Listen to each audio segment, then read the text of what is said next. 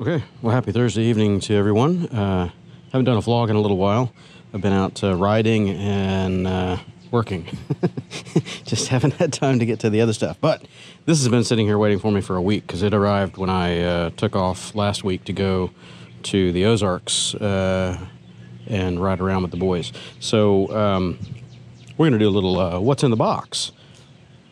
Okay, so let's open this up. I already know what's in here for the most part. WeBike has been a little slow about uh, filling some of their orders, uh, back order stuff, and not uh, having everything in stock. So that puts the whole order kind of late. But we're gonna see if they got everything in here, and hopefully I'm keeping you all on camera. We should have a Daytona windscreen for the Rebel. It's going to be a little stubby. Uh, a little bit bigger than a gauge spoiler, but uh, not quite a huge touring screen. Something's better than nothing, right? Oh, that's heavy. I know what that is. No, I don't. That's, not quite what I thought it was. There should be another heavy one in there. Let's see what else we got. I got a chain for my Super Cub that I will put on before I embark on my uh, cross country trip. Uh, this is a uh, X-ring chain. The chains that come on these little bikes are just standard chains. They're not X-ring, O-ring. Uh, you know, presumably cheaper, lower rolling resistance, whatever. Uh, but that also means more maintenance. Uh, X-ring chains uh, are less maintenance, so I'm going to put that on there. See how well it works. If I have problems with it, I've got a factory chain. Uh, they cost a whopping ten dollars and eighty three cents or something like that. Uh, this one was about forty bucks. so anyway, plus shipping. What else do we have? Got another power pigtail. Uh, hey, losing my shipping thing. This is the what? This is C125, so that's definitely for the Cub. I got an extra one because uh, I sent mine out to somebody. Come here. You stay. What else do we have? We have a new sprocket. Uh, I decided to get a new sprocket set for the uh, believe I got this for the CT125 to play with its gearing a little bit. Um, I have to remember what I was doing, uh, but I got a 34 and a 36. So these will work on either the. Uh, oh no, wait, let me see. Is this a 420 or 428? That'll tell me. It says Grom. I'll have to verify. Uh, I've gotten several sets of sprockets, and I don't remember which ones these were. Uh, the Super Cub is a 420 pitch chain, and the CT125 that's still sitting over there waiting to be put back together is uh, 428. So I've got to remember which ones these are for. But anyway, so I got a 34 and a 36 uh, rear to play with. And then let's see what else they have. Yeah, there's the other heavy one I was looking for. This, these are bar end weights or bar end adapters to replace uh, these factory ones that I botched up. Uh, that works, but you know it's it's a kludge. I stacked a bunch of stainless steel flat washers to bring it out a little bit, and uh, it, it, works, but it's not the most beautiful thing. These are uh, different adapters that allow for a little cleaner installation. If I can get it out of there, I'll show you. They're just machined adapters.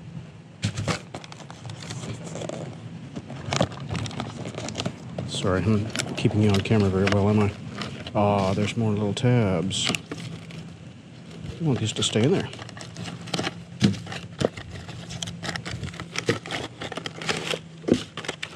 So these are just collars to replace what's in there now. Uh, the end of the bar on this uh, has a welded in bung with a screw in it, uh, the problem is they sit, you know, the, the factory weights uh, or end caps, they're not even weights, uh, they sit in too far, so you have to space them out. So I just used some longer screws and back that with some stainless steel washers. This spacer right here uh, is going to put it where you want it, and then this gives you a uh, larger diameter to hang on to. So anyway, should be all right. We'll see how that works out.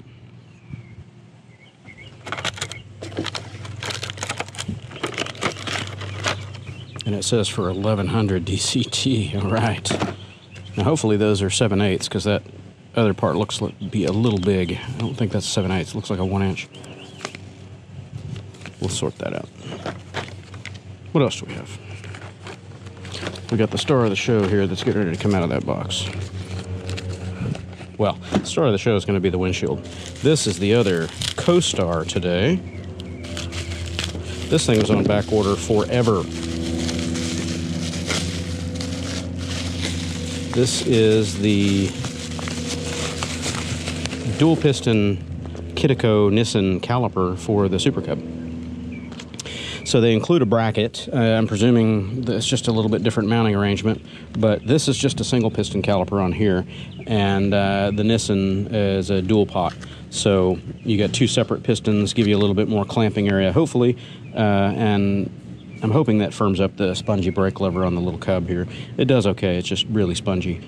Um, I still haven't found a, a, company to make a set of custom lines, uh, stainless braided lines, because you'll need one here uh, coming from the body uh, coupling uh, off of the ABS pump, uh, and then the upper one is going to come from the master cylinder down to that uh, coupling down there. So anyway, it's going to be a two-piece line set. I'll find somebody that'll make it. Anyway, I'll get to putting that on hopefully uh, before the trip. It looks so pretty.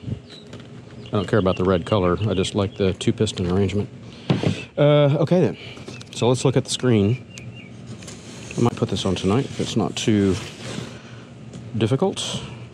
Sorry, trying to keep you guys on the camera here. Let's get you in the action, shall we?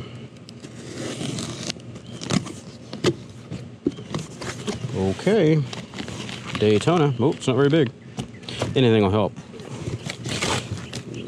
Rebel really needs some kind of uh, forward wind protection on it just to break up the pressure on the chest because at 70 miles an hour, man, let me tell you, you're really fighting to hang on to that bike. I feel like a flying squirrel a wind tunnel. Okay, brackets.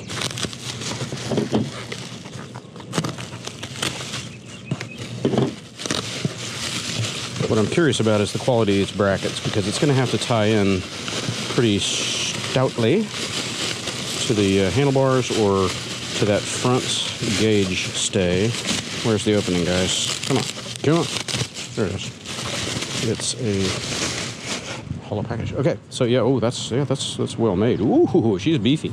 Yeah, that's actually nice. It's minimal, but it's very solid. There's no flex in that. Welds look good and strong. Not so sure about the uh, paint or powder coat on here. That might chip off eventually, but we'll see how it fares. Cool. I have no idea where it goes yet. Gotta sort it out. And I don't see instructions unless. Oh, yeah, here they are. Okay, then.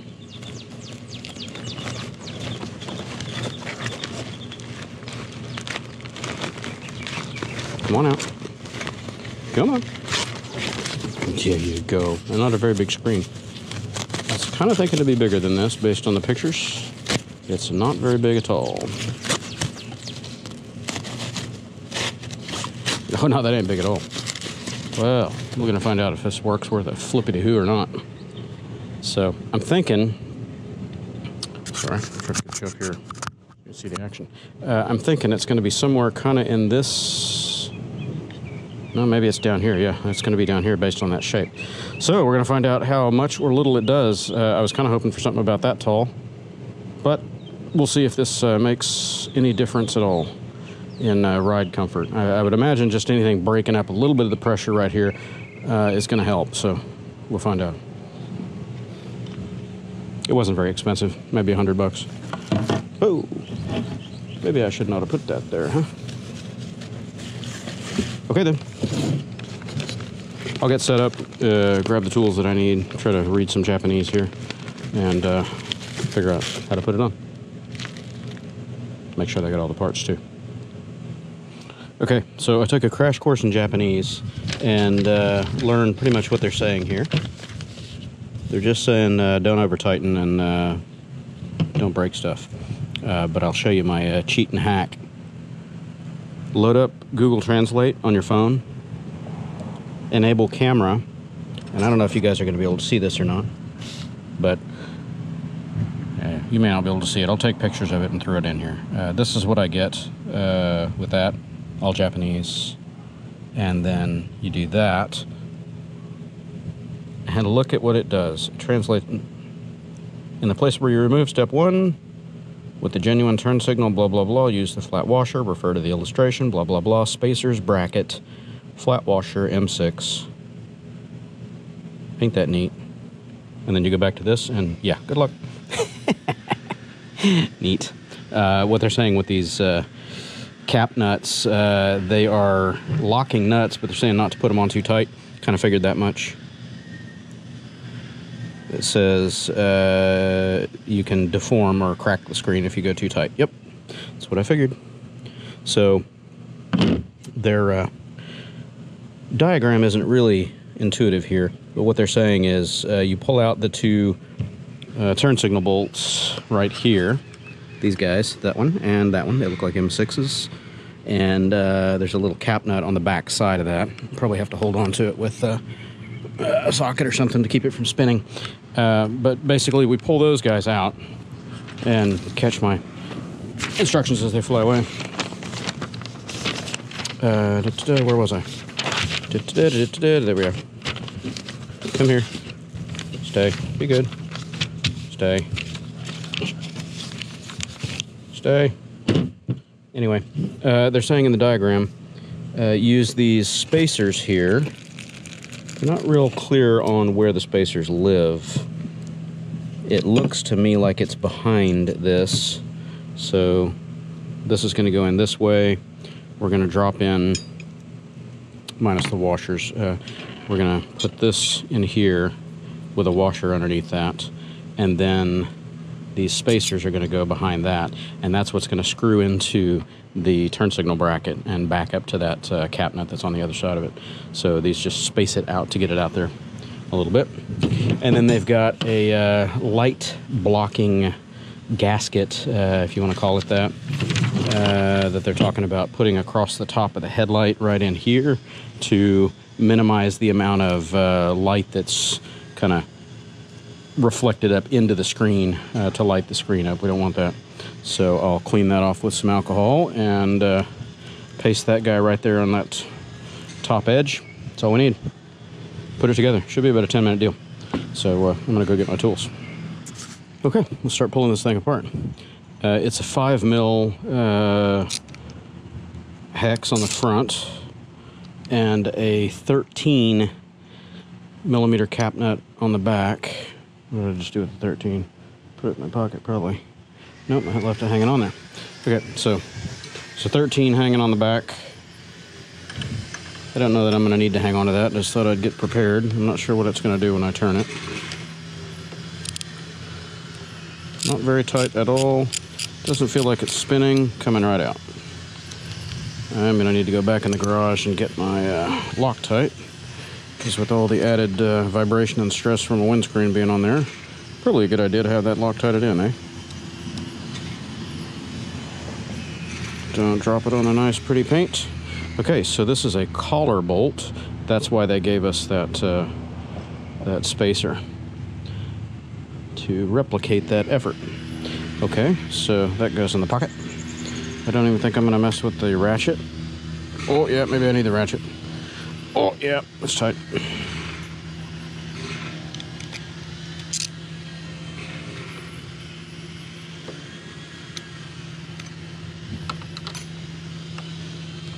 Yep, you don't need to hang on to the back, so don't worry about the 13 millimeter uh, cap nut in the back. It seems to be captive. Okay, so got that. Those two are out of there. Uh, I'm gonna go grab my alcohol for this. Should have brought that out. I need more beer. Oh, hell, it's hot today. It's like 92, 93 out here right now. Six o'clock at night. Okay, alcohol in hand. Fresh microfiber cloth. And let's clean that up a little bit, shall we?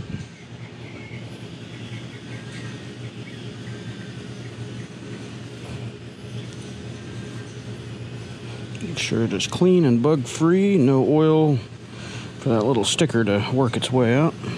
Go ahead and apply this now, just get it done. So placement, it is a little longer than that is wide, so oh, whatever. Ooh, it's foil. Fancy. There we go. Oh, it's almost like I've done this before. Takes me back to my window tinting days. Didn't get it quite. Hey, didn't quite get it centered up. It's a little longer on that side than it is this side, but you know, whatever. I can always trim it with a knife. Ugh. Okay, I don't think it's coming off, considering how sticky that stuff is. I'm gonna trim that off with a knife later. Now, we are going to Loctite the screws. I love this gel stuff, so much better than the liquid. Didn't need that much, but I'll spread it across two of them. Okay then. So we got our two uh, little spacers there. We got this. Uh, let's keep those together. Now we need to find. Hey, don't do that. Now I need to find these. All right. So they gave us a couple of uh, self-adhesive rubber pads here for the faces of the uh, brackets, and I guess it's just a matter of lining up the uh, holes and sticky, sticky. I clean these uh, with alcohol just to make them even grippier.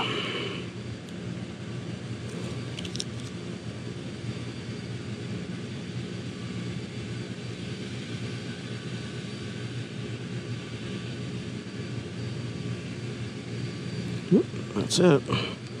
Got it lined up. Okay. So then now it's uh, figuring out all this hoopla. Gonna have to read the directions. We'll come back to you. Oh wait, no, I got most of it here. So we got the nuts, washers. So we got these are plastic. So these go there. And then we've got flat washers backing the nylock nuts on the back. So each of these is going to get staged like this.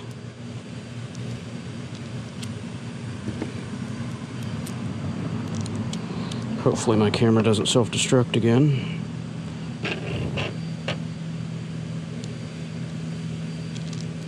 Okay, there's four of those.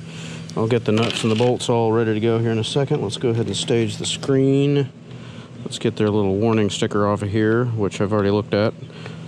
I'm going to take a picture of that just so I can translate it later. They're telling you not to do it in the sunlight, not to leave it in the sunlight.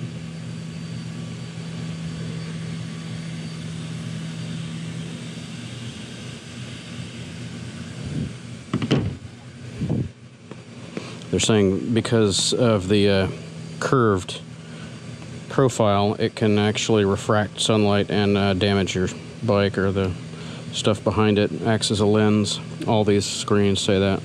I've never really had a problem with it. I leave my bike parked in the sun all the time. Doink! Okay. So, let's put the upper two in there first, shall we?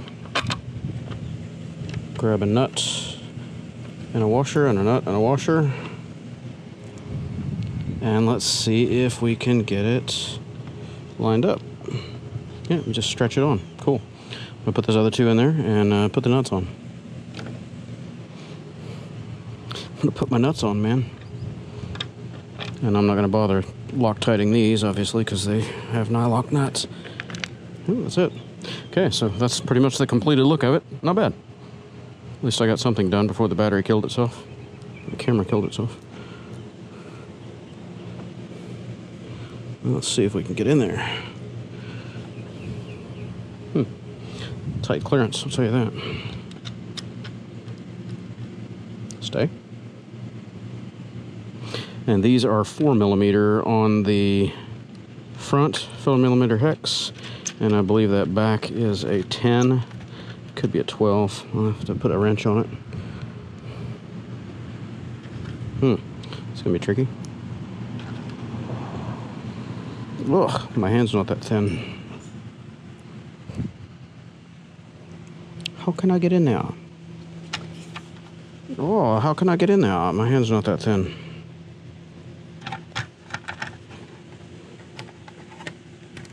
There it is. Oh, you bastard. Can someone come over here and tip my bike forward for me, please? So this will stay on.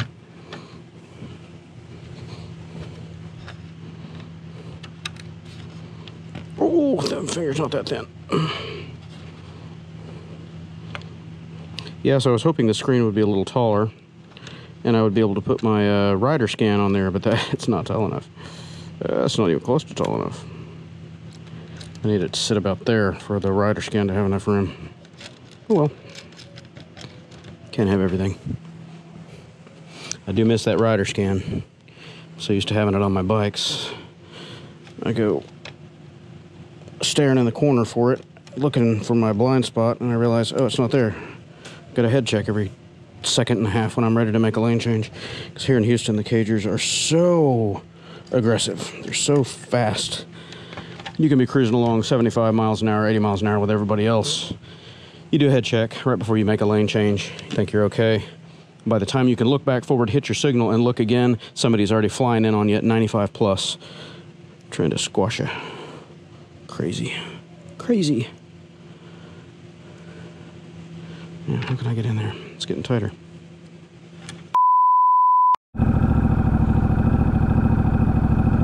Okay, so here's the finished product. The screen, anyway. I'm gonna.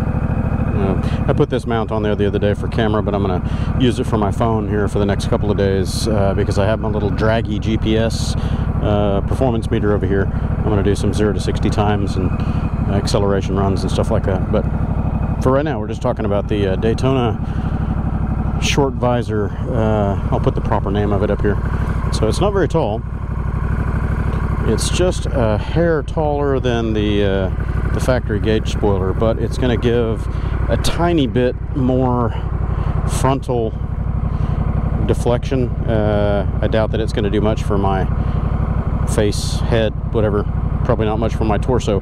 Uh, it might break up the flow right across my chest here, so I'm going to take it out for a little quick run and get it up to highway speeds and see what it feels like. So, I'm grab my gloves and I'll be right back with you.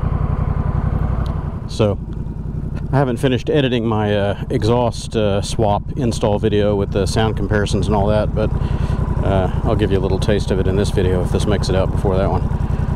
Not 100% in love with uh, the way it sticks out as far as it does, but it definitely clears the swing arm and that's okay.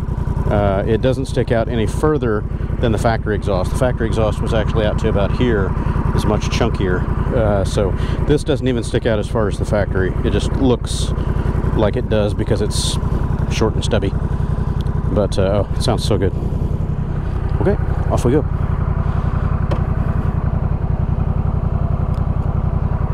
Okay then. Drive. What are we in? Standard mode? Yeah, that's fine.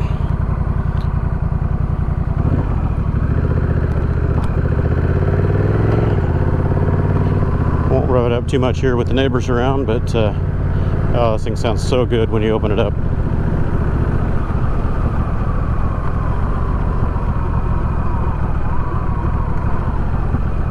What you doing there, fellas?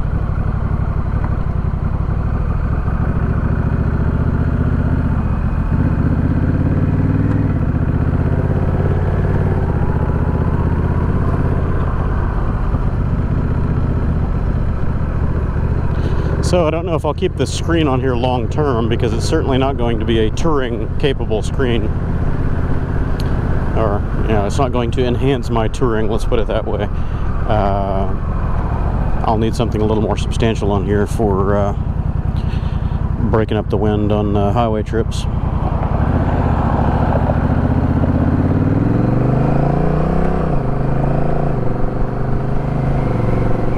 Yeah, it's not really doing that much. So I think it's going to be more aesthetic than anything else. The pictures make it look much larger than it is. Uh, they give you measurements in centimeters and I measured that and I was thinking okay well that'll be good if it's above the visor because I was thinking it would be about that tall but they're talking about from the you know overall height you know right off the headlight so it's not that big you guys can see it from where you are. You're closer to it than my eyeballs are. Uh, so yeah, anyway, my eyes are way up here, but yeah, it's uh, it's down pretty low. I'll get up to 60 or 70 miles an hour over here on this uh, park road and see if I notice any difference in uh, wind load on my chest. Kind of thinking it's not going to be much. That actually does seem to make a little difference on the chest. I'm only going 55, 60, but I can feel uh, a marked reduction in the chest pressure, so that's good. It's not much of a little screen, but it is deflecting some air. It's good. So let's get up 65. There's 65. Yeah, yeah, it's actually reducing the wind pressure on the chest. I am surprised. Not a huge reduction overall, but right in the center of my torso where, you know, you felt like you were just getting pushed off of the bike, uh, it's not as severe. Now my shoulders and helmet are still well in the clear, so I still feel a lot of, not buffeting, but I do feel pressure up top, but my core is not being pushed on, so that's good. It's actually making a surprising amount of difference. Wow. Color me surprised, man.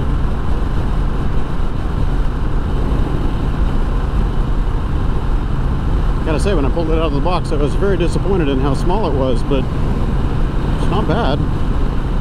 I think it could stand to be about three to four inches taller, maybe just a touch wider,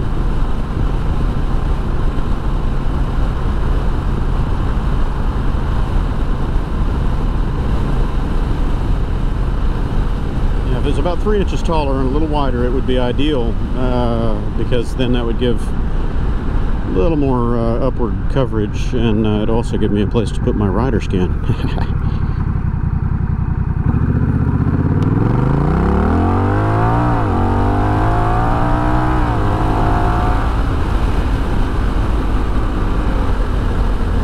so here's 67, let me get it to 70 or 70. Yeah, yeah, it's making a decent difference in chest pressure. Nothing for the helmet or the shoulders, but definitely on the chest. I'm feeling the cutoff right at just above my uh, sternum, kind of below my shoulder. So.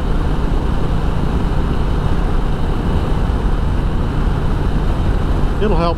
Definitely better for cruising around uh, and doing the, you know, the back road jaunts that I do and uh, commuting around town, that sort of thing.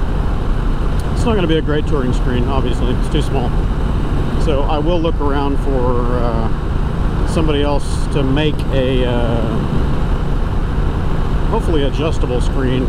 Something that's a little bit wider and uh, you know, it gives the ability to raise up and down. I kind of like the GIVI airflow. Uh, they have a universal airflow that is impossible to find these days and I don't know how the mounts would work. I don't really want to clamp anything to my fork tubes. Um, then uh, I like Madstad, but I don't know if I want to put a barn door on the front of this. It needs to be pretty sleek. I don't know. I'll look around. I was looking at a couple of universals, you know, from uh, National Cycle and uh, was it Memphis Shades has some that look good. Uh, I really like the look of uh, Dart fly screens out of the UK, but I don't think they've got a fitment for this yet. We'll see if they come out with something.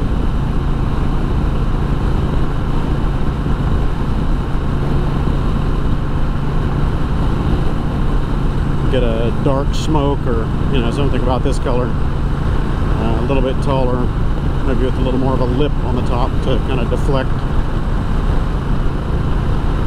But I don't want a big batwing fairing on here. That's just, uh, doesn't match the look of this bike.